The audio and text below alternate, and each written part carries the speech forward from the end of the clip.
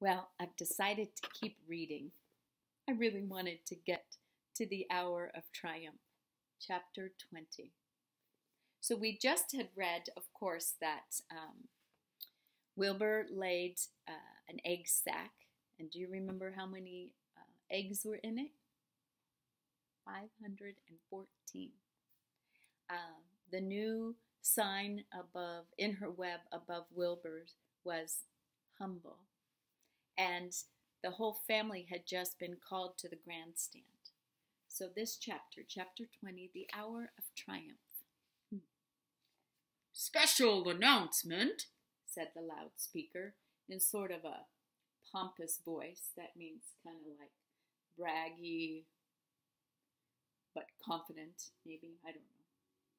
The management of the fair takes great pleasure in presenting Mr. Homer L. Zuckerman and his famous pig.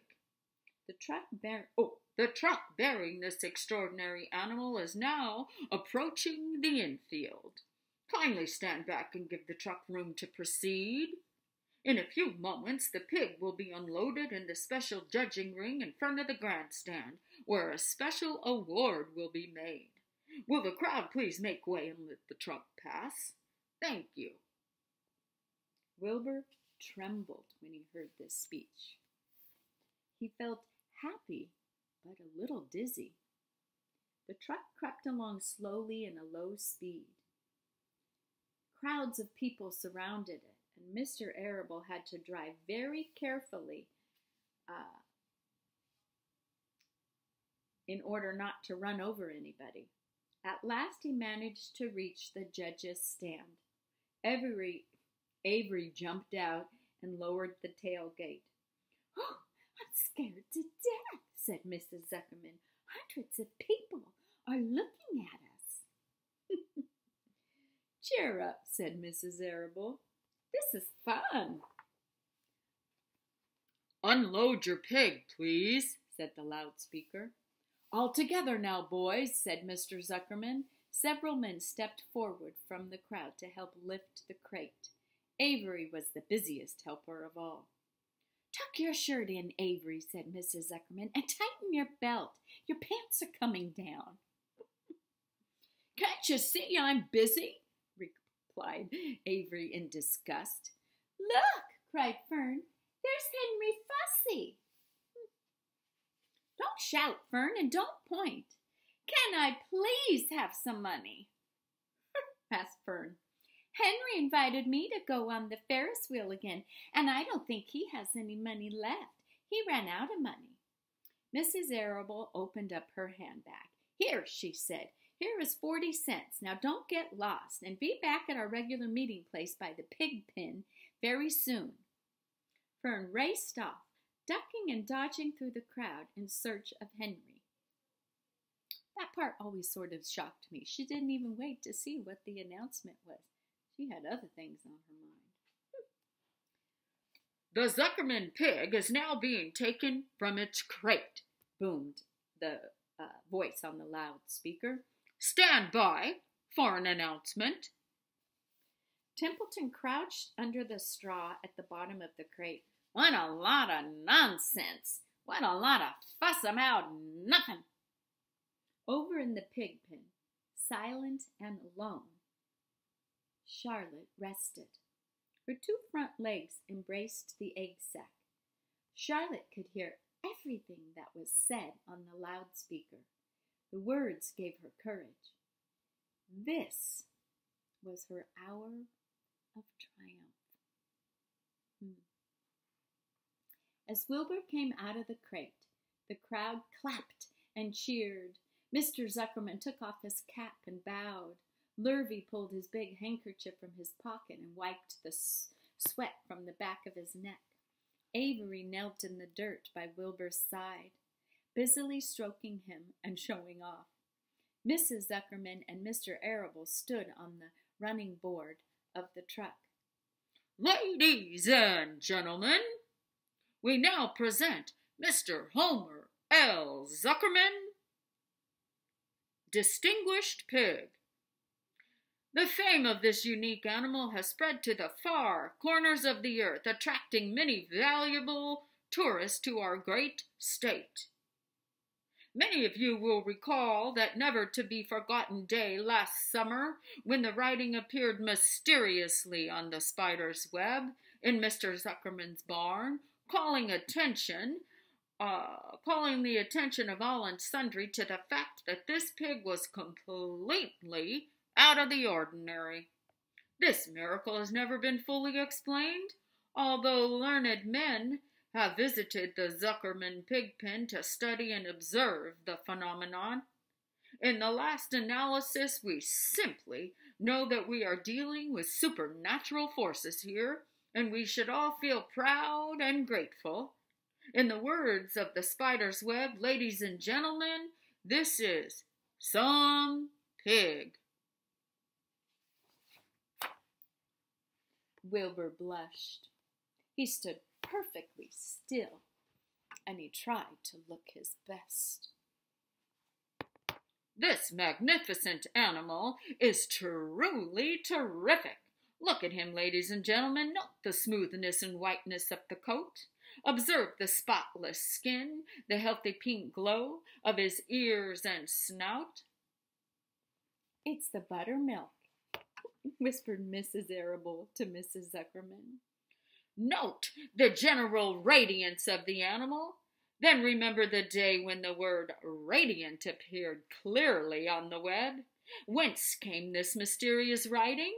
Not from the spider, we can rest assured of that. Spiders are very clever at weaving their webs, but needless to say, spiders cannot write. Oh, they can't, can't they? said Charlotte, murmured, murmuring to herself back at the pen. Ladies and gentlemen, I must not take any more of your valuable time.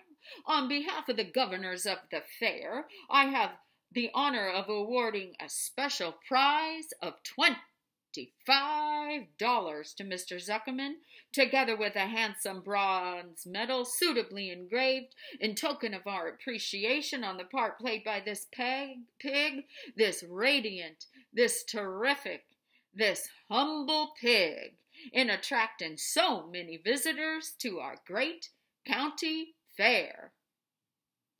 Wilbur had been feeling dizzier and dizzier through this long and complimentary speech. When he heard the crowd begin to cheer and clap again, he suddenly fainted away. His legs collapsed, his mind went blank, and he fell to the ground, unconscious. What's wrong? Said the loudspeaker. What's going on, Zuckerman? What's the trouble with your pig? Just then, Avery was kneeling by Wilbur's head, stroking him. Mr. Zuckerman was sort of dancing about, fanning him with his cap. He's all right. He's all right. He gets these spells. He's modest, you know, and he can't stand the praise.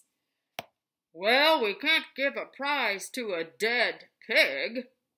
It's never been done.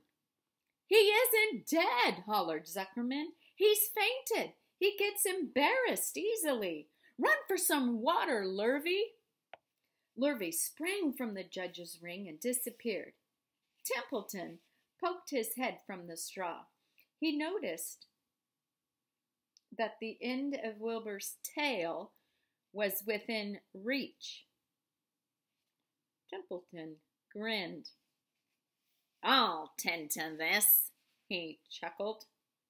He took Wilbur's tail in his mouth and bit down just as hard as he could bite.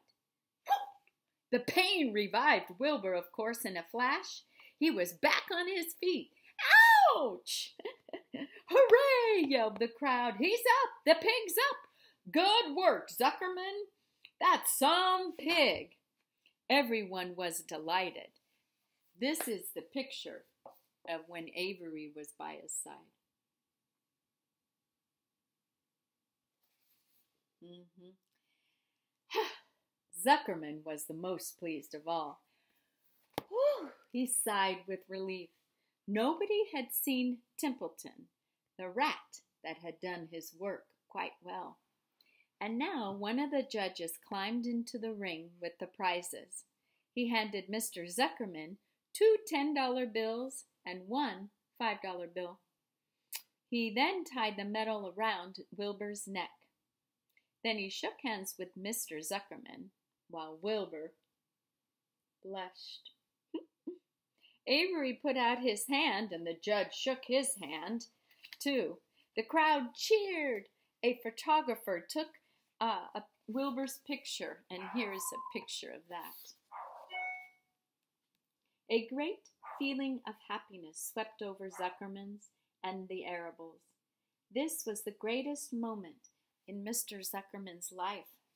It is deeply satisfying to win a prize in front of a lot of people. As Wilbur was being shoved back into the crate, Lurvy came charging through the crowd carrying a pail of water. His eyes had a wild look. Without hesitating a second, he dashed the water at Wilbur. In excitement, he missed his aim, and the water splashed all over Mr. Zuckerman and Avery. They got soaking wet. For goodness sake, bellowed Mr. Zuckerman, what ails you, Lurvy? Can't you see the pig is all right? Well, you asked for water. You, you, I didn't ask for a shower bath, said Mr. Zuckerman. Oh, the crowd roared with laughter. Finally, Mr. Zuckerman had to laugh too. Of course, Avery was tickled to find himself so wet, and he immediately hmm, started to act like a clown. He pretended he was taking a shower bath. He made faces and danced around and rubbed imaginary soap under his armpits. Then he dried himself with an imaginary towel. Avery, stop it, cried his mother. Stop showing off. but the crowd loved it. Avery heard nothing but applause. He liked being a clown in a ring, with everybody watching in front of the grandstand. When he discovered that there was a little bit of water left in the bottom of the pail, he raised the pail high in the air and dumped the water on himself and made faces. The children in the grandstand screamed with appreciation. Well, at last things calmed down. Wilbur was loaded into the truck. Avery was led from the ring by his mother and placed on the seat of the truck to dry off. The truck, driven by Mr. Arable, crawled slowly back to the pig pen. Avery's wet trousers made a big wet spot on the seat.